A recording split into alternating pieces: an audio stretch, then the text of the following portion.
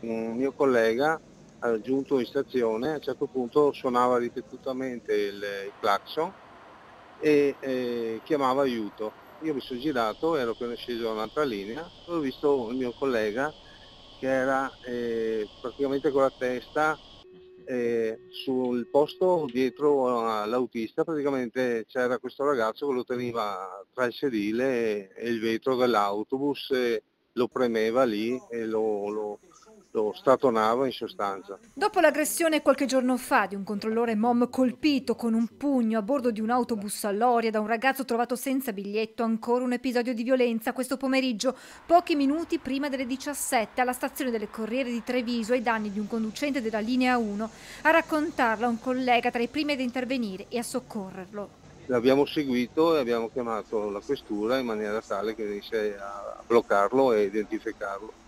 Così è venuto e poi la questura se l'ha portato, portato via in questura. Il giovane aggressore era salito alla fermata degli istituti scolastici di Lancenigo. Erano già vivaci di suo appena sono saliti perché hanno preso a pugni la, la carrozzeria del mezzo.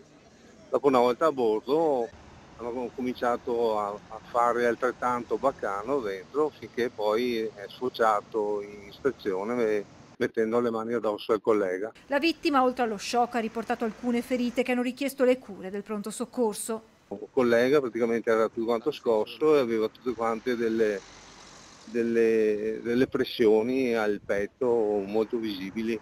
L'ennesimo episodio di violenza che preoccupa non poco i conducenti MOM. Questi casi si ripetono quotidianamente e tante volte riusciamo a contenerli, altre volte invece degenerano. Siamo preoccupati perché eh, succede troppo spesso.